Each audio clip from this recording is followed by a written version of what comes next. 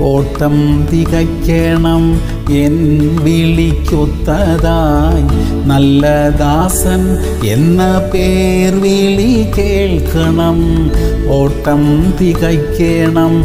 N വിളിക്കൊത്തതായി നല്ല ദാസൻ എന്ന പേർ വിളി കേൾക്കണം.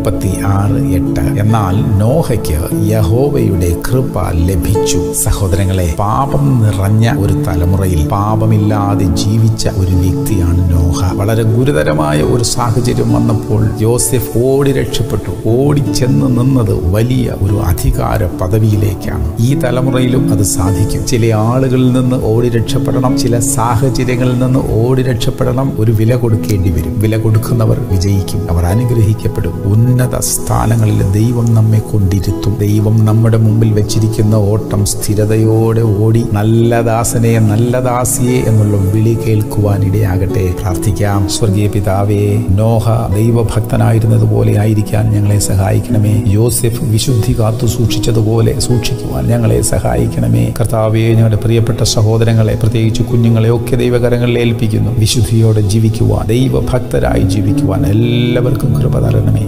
ക്രിസ്തുവിന്റെ നാമത്തിൽ തന്നെ. ആമേൻ ആമേൻ ആമേൻ.